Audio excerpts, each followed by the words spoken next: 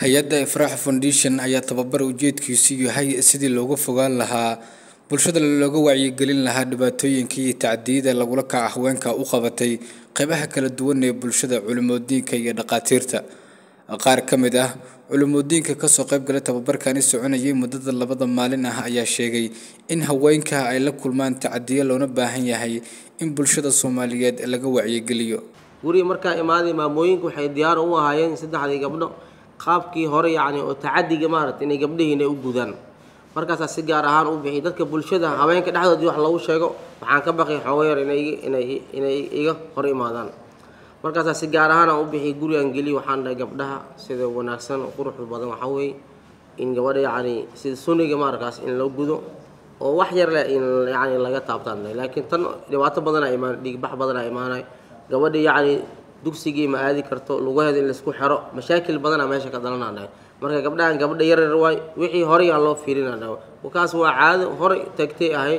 Caadadaasna hadda waa laga soo gudbay. Gabdhahan badbaadiya waay. Xuquuqul insaanka oo ugu weyn yahay gabdhaha xuquuqda ay leeyihiin oo in xuquuqdooda lagu xadgudbana.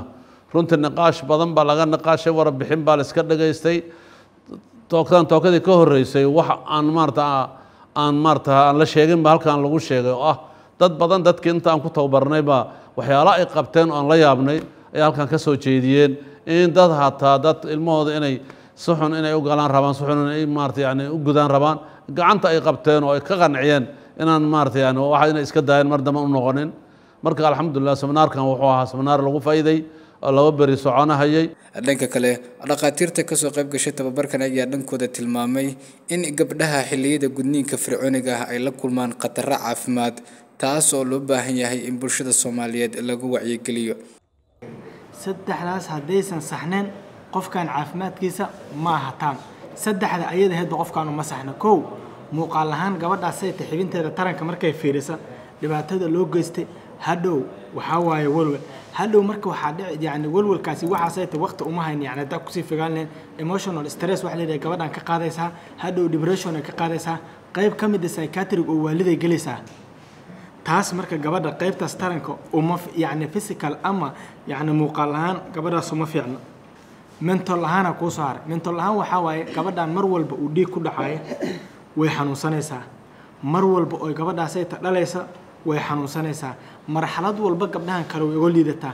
Tusaale ahaan meeshaanay taxbintan waxaa looga talagalay tarankee meeshaan la jaraayo ilaahay meel walbuu abuur wuxuu uga talagalay inay ay shaqaysa waxaa jira waxa la yidhaha physiological function. Yacni waxaa inay shaqaysaa looga talagalay meeshaan. Shaqadeedii waad gabtay. Tusaale ahaan meeshaanay ta baallahan uu leeyahay baalkan waxaa looga talagalay xilliga uu dhalaysa hooyada inay kala baxaan oy suubiyaan agaan si cunugaasi ugu dhasha inay waxa inay relaxon gareeyaan ama ay kala baxaana looga talagalay. Haddii laakiin la jara meeshaas wax kala baxa ma helaysa. Sababtoo ay meesha ay ku kala bixi leedi awoodda waad ka jartay. Waa kow waa labe meesha wayba xirantaba. Tan iyo burburkii kadib haweenka ayaa door muhiim ah ku dhex lahaa horumarada buuxa ee markaasi ka soconaya gudaha dalka. Cabdiraxmaan shaahu warbaahinta qaranka muqdisho